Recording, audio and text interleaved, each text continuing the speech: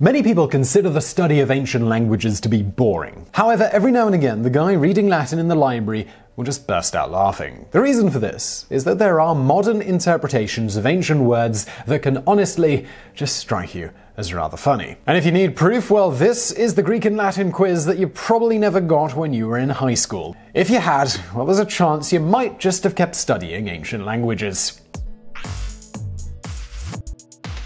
Number 10, albus. Albus is a masculine Latin word that means white, so basically the headmaster of Hogwarts walked around with a first name of White Guy. This is also interesting in the fact that Alba is the feminine version of the word white, so in theory, when you talk about Jessica Alba, you're essentially saying Jessica White Girl. Albus is also the root word of albinus, which brings us to albino. This makes sense since albinos have the primary feature of being, well, white. J.K. Rowling was a smart woman to make Albus's last name Dumbledore and not something a little more overt like Supremus. Number 9. Hystera. Hystera is the ancient Greek word for womb and also birthed words such as uterus and hysteria. This is not a coincidence. For centuries, being hysterical was also called the traveling womb disease. As such, men could not suffer from hysteria. However, this is one of the rare times in which a totally sexist perception had a favorable result for the victims of the sexist attitude.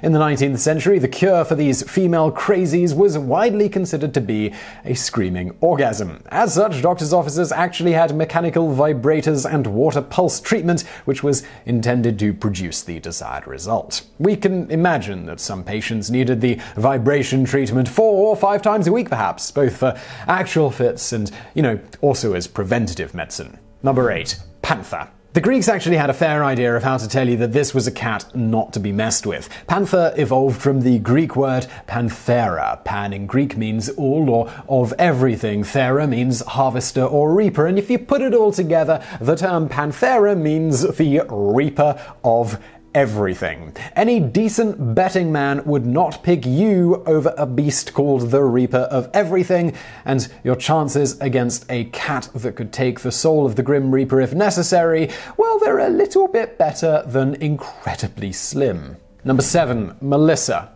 Have you ever known a Melissa who was perhaps a bit flighty? Have you ever known a Melissa that was what the guys in Animal House would call morally casual? Well, don't hate them, they might just be living up to their name. Melissa is actually a Greek word that means honeybee, so flighty is just all a part and parcel of the nature of the name. Melissa was also the name of the nymph who attended to Zeus. To this day, we still talk about how nymphs were kind of enthusiastic creatures, so don't blame someone just trying to do their name justice.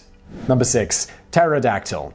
This word may well make you lose respect for anyone who ever named a dinosaur. Pterodactyl is the shortened version of pterodactylus, which is the masculine form of a Greek word meaning winged finger. Yep, that is the extent of the name. They found some bones of a wing with fingers attached, so the entire damn species gets saddled with the name winged fingers. Number 5. Diphtheria. Everyone knows that diphtheria is a terrible disease, but prior to vaccinations, diphtheria was practically a death sentence. You may not have realized how screwed the very name implied that you were. Diphtheria is an ancient Greek word that means pair of leather scrolls. But to be blunt, the leather scrolls in this case are actually your lungs. Lungs are supposed to be soft and pink and squishy, not something like Indiana Jones unwraps while searching for buried treasure. In a way, saying diphtheria is kinder than spelling out the very definition of the word. Number 4. Facio. Imagine the following scenario. You're a high school freshman sitting through Latin class and trying not to snore, and you come across the word facio. It would take you all of about two seconds to associate that word with you while swearing at someone. Never mind that it actually means I do, the fact that it sounds exactly like you'd expect, well, that's what's important. It gets better when you learn other ways to use the word. For example, he, she, it does is facit. If you want to order someone to do something, you would simply say fac. I will do faciam. We will do facimus. In short, you have one of the few Latin words that could potentially be rapped by Jay and Silent Bob, as well as one that could get you into trouble with mum for no reason other than the word it sounds like. Number 3. Hippopotamus. The hippopotamus is actually a cousin of the pig, but it's not named as such. Nope, hippopotamus actually means river horse in ancient Greek. Really? And it's at this point we really wonder what ancient people must have been up to to look at a hippopotamus and go, oh yeah, that's a river horse. Definitely.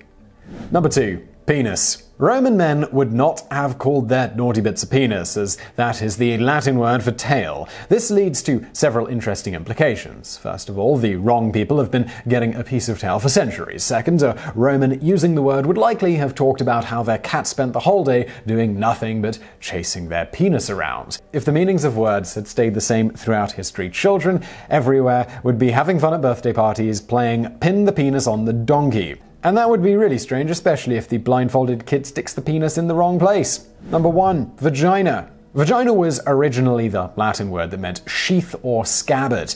It can only be speculated that it was a man who defined the female sex organ as a place to put my sword. Imagine being a member of the Roman cavalry riding into battle with your vagina flapping against your hips. You'd also have to have great skill in selecting the right vagina for your sword. Obviously, you'd want a sword that could fill it completely, though the more your sword is in the vagina, the better it would fit. You'd also, of course, have to make sure that the vagina was the right size for your sword. So I really hope you found that video interesting. If you did, please do hit that thumbs up button below and don't forget to subscribe. We've got brand new videos just like this every day of the week. And if you're looking for something else to watch right now, why not check out our other channel called Biographics? You'll find a link to that on the screen now. And as always, thank you for watching.